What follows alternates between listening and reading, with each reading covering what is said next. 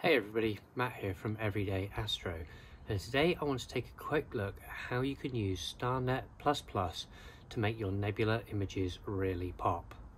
StarNet++ is an incredibly powerful program. Its basic premise is it removes the stars from your images but that allows you to selectively edit the nebula without bloating your stars or creating stars that detract from your nebula.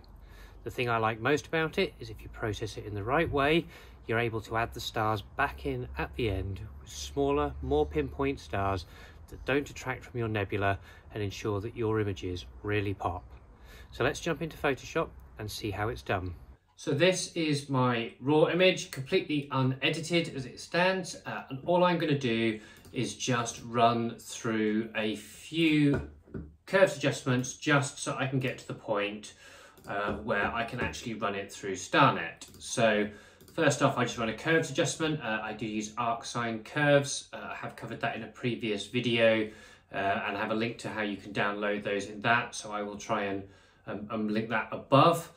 Uh, then all I'm also going to do is just a rough color balance um, so that I can get everything roughly into place. Again, for the, for the sake of this, I am not interested in getting it perfect. I'm just trying to get it to about the point, which for me is about here, so that you can actually run the image through StarNet. You see, I, I have stretched it a little way. Uh, you can see obviously the stars are clearly coming out. The nebula is quite clear in the center of this. Um, so at this point, I will go ahead and I save the image into my StarNet folder when that wants to come up and it gets saved as rgb test5.tiff. It's the file that the program looks for as uh, it, it, processes it. So with that saved, uh, I need two items on a Mac. So I have my StarNet folder. So this is all my files that are in the StarNet folder. Uh, and I have um, my command prompt. So to run it, I simply take the run RGB StarNet, put this into there, and I hit go. Now, the one thing I will say is this takes a long time. It is not a quick process. Uh, it's a very powerful program, so anything that's powerful and good doesn't happen quickly. As Guinness would say, the good things come to those who wait. So you can see down here, for example, just how slow this process is going to be. I am not going to bore the hell out of you. So what I'll do is I will come back in a few minutes time when this has run its course and we will continue from there.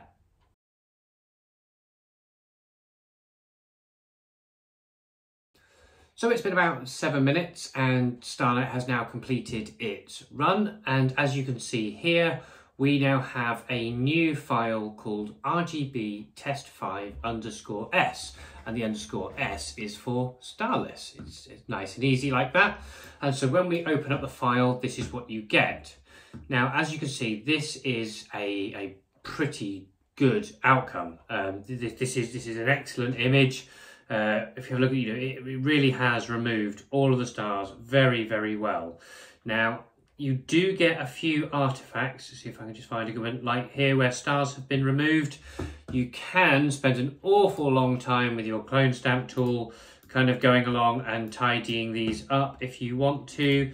Uh, I have a habit, unless they're really obvious, of not doing that because ultimately I find when you put the stars back in later in the image, you, you don't notice that anyway. So of course, if you are just looking to make a starless image uh, and keep it that way, I would recommend spending the time going through and taking that out. I think it would improve your overall picture.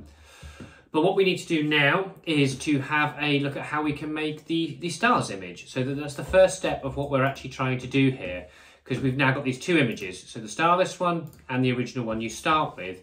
And one of the things that's missing is the one that has just stars. So if we're going to put those back at the end, we need just the stars.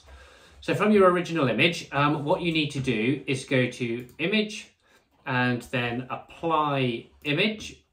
And you'll be given plenty of options here.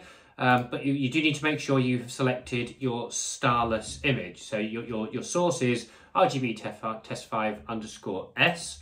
um, you are going to subtract, is what you're going to do. The idea is you're taking what's in this image and you are subtracting it from this image, so you'll only be left with uh, any difference between the two images. And the offset uh, you can set, that is quite literally how dark it's going to make the background. So for example, if I set that to 30, you can see it kind of brightens there. Uh, if I went all the way down to one, it would go very dark. I always think one is a little bit extreme. Um, so I normally plumb for around five. Uh, I find that is a pretty good way. So now what I've got is just a stars image. So I now have stars and I have starless. Uh, identical images in terms of size uh, and positioning. It is literally just the case that one has stars and no nebula, the other one has nebula and no stars. So from here, I so this isn't a lesson in, in how to uh, edit your images. So I am literally just going to do a couple of bits to go, look, here you go, this is what I would have done. Uh, let's do a bit of uh, vibrance and such. Actually, I'm being chewed by by by um by by George here. So let's see if we can get him to stop doing that too. Let's just pretend this is as much as we want to do. We're going to try and make the image look like. There we go. We're we're now happy with that as a final image. So what we want to try and do now is put the stars back in to the image.